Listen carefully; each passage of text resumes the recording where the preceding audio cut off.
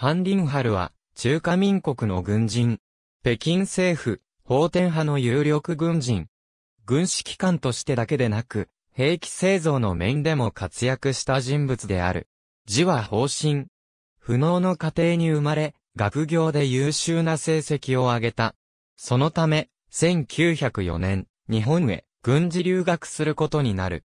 東京新部学校を経て、陸軍士官学校第六期砲兵科で学ぶ。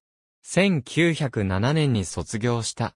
帰国後は、陸軍部軍開始会員、軍開始市長、陸軍工部道教務長などを歴任した。中華民国建国後も、陸軍部で各職を歴任し、反林春式不標準を研究、製造したことにより、軍語を授与された。1916年6月、陸軍部参事に昇進した。1919年、欧州へ軍事視察に向かった。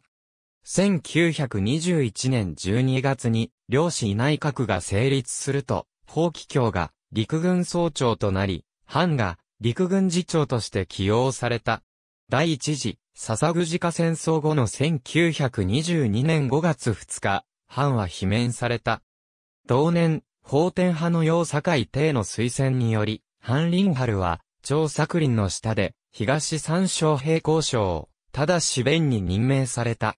ハインリンハルは、日本、ドイツなどから義士を招聘し、設備を購入するなど、兵器製造、管理に辣腕を振るう。これにより、東三省平行省を、当時の中国で最高水準の軍事工場と、なさしめた。さらに、東三省陸軍整理ところが設置されると、孫烈信が統監、今日昇る戦闘班が副統監に任命された。吉林特軍を兼任する孫は整理ところの事務に常時携われなかったため、京都藩が実権を握る形となる。二人は、笹口家戦争で敗北した法天派の再建、精鋭化に取り組んだ。1924年9月、第二次、笹口家戦争が勃発すると、京のボル戦と、ハ林春は、それぞれ、第一軍の制服軍長に任命され、法天派は勝利を収めた。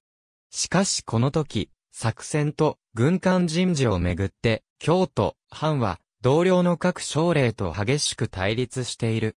1925年11月、核が張作林に対して兵変を起こすと、今日は核に捕らえられ銃殺された。一方の艦は、病により一時職を離れていたため何を逃れた。核の兵変が鎮圧された後、藩は第4方面軍軍団長に任命され、第3方面軍軍団長の長学寮と連合軍団を結成する。1926年1月に、兵玉省が芸野し、その配下の国民軍と法天派を含む、北方各派との戦いが開始される。長学寮と、ハ林春は、南口で、国民軍と戦い、漢の作戦指揮の下で8月に、これを撃破した。また、この戦いの間に、五春登る配下の軍が、略奪等を繰り広げたため、長と、藩は即座に略奪に関わった軍艦を粛清して、法天派の一心を保った。同年12月1日に、張作流が暗黒軍総司令となると、ハ林春は陸軍上将に昇進した。1927年、超学寮と、藩は、各地で、中国国民党の北伐軍と戦った。しかし作戦上の対立から、次第に、両者の関係が悪化していく。同年6月、藩は、暗黒軍第4軍団長に任命された。8月、藩は、国民党が派遣してきた、何せ不可視と、密かに面会した。これは、後の東北軍と国民党との交渉の講師となっている。1930年1月18日、法天使で病没。去年46。ありがとうございます。